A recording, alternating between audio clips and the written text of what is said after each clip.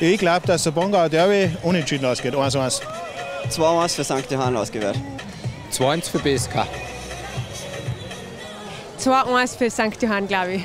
2-1 St. Johann. 3 zu 1 für St. Johann. 2-2. Der Großteil der knapp 1000 angereisten Zuschauer sieht also St. Johann als Favorit in diesem Pongauer Derby in der Regionalliga West. Und es ist auch St. Johann, die den besseren Start erwischen. Freistoß Milan Srečko. Und im Nachfassen kann Fritz Kühleitner die Situation klären. Kurz darauf ist es Benjamin Ajibade im Dress der St. Johanna, der knapp verzieht.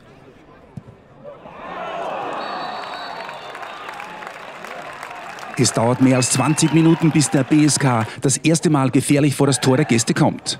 Veit Ismaili mit der Flanke in den Strafraum. Goran Antonovic kann sich gegen zwei St. Johanna durchsetzen. Aber eine tolle Parade des St. Johanna Schlussmanns Dominik Waltl verhindert das 1 zu 0 der Hausherren.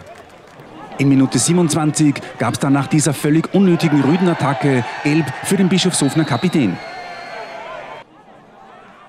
Die letzte nennenswerte Aktion haben dann wieder die Gäste aus St. Johann. Milan Srečko mit dem Freistoß. Und Fritz Kühleitner kann den Ball noch zur Ecke abwehren. Es bleibt zur Pause beim doch etwas enttäuschenden 0 zu 0.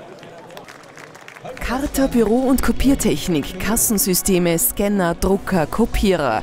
Ihr Bürotechnikspezialist im Bundesland Salzburg. In Minute 61 Eckball für den TSV St. Johann. Marco Grühl legt sich den Ball zurecht. Und Duska Sakan steht goldrichtig und erzielt das 0 zu 1. Riesenjubel natürlich bei den Spielern und bei Trainer Ernst Lottermoser. Neun Minuten später ist es wieder eine Standardsituation, die Gefahr für die BSK-Abwehr bringt. Milan Srečko diesmal von rechts und Benjamin Acibade per Kopf zum 0 zu 2. Sein zweiter Treffer in der laufenden Meisterschaft und sicher ein ganz besonderer im Derby gegen Bischofshofen. Da hat die Abwehr von Bischofshofen völlig auf den Top-Stürmer von St. Johann vergessen. Keine Chance für Fritz Kühleitner. Das 0 zu 2 ist wohl schon die Entscheidung in diesem Spiel, aber die Gäste wollen jetzt noch mehr. Weiter Abschlag von Dominik Waltl.